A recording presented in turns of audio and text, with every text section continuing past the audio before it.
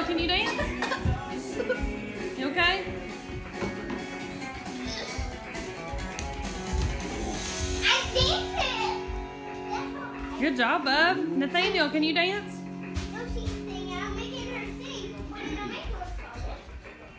What? You're supposed to sing in the microphone. Kendra, show him how to sing in the microphone. I'm. I'm. There you go.